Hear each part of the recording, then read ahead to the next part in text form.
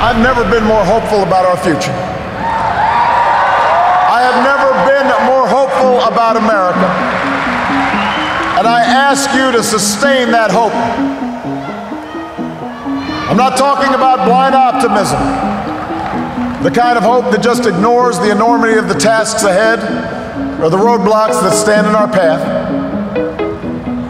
I'm not talking about the wishful idealism that allows us to just sit on the sidelines or shirk from a fight. I have always believed that hope is that stubborn thing inside us that insists, despite all the evidence to the contrary, that something better awaits us. So long as we have the courage to keep reaching, to keep working, to keep fighting.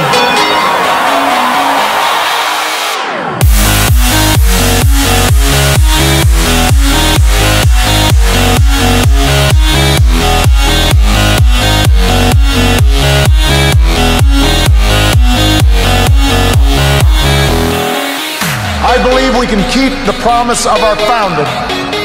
The idea that if you're willing to work hard, it doesn't matter who you are, or where you come from, or what you look like, or where you love. It doesn't matter whether you're black or white, or Hispanic,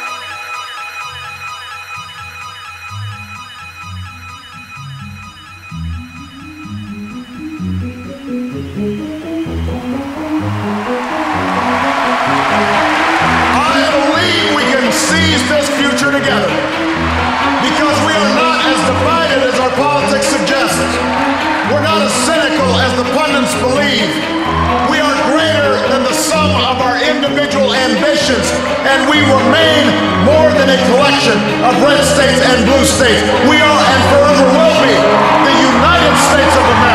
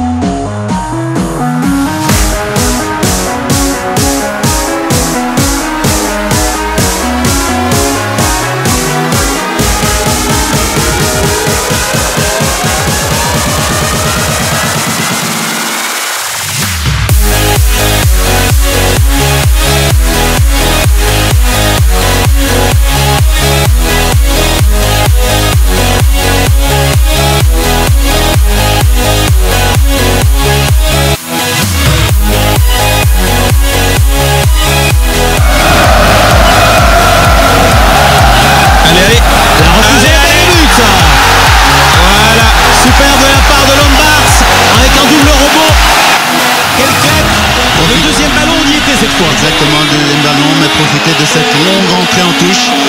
Déviation de, de, de Marwan Fellaini, hein, elle retombe bien, et Lombard sans se poser de questions.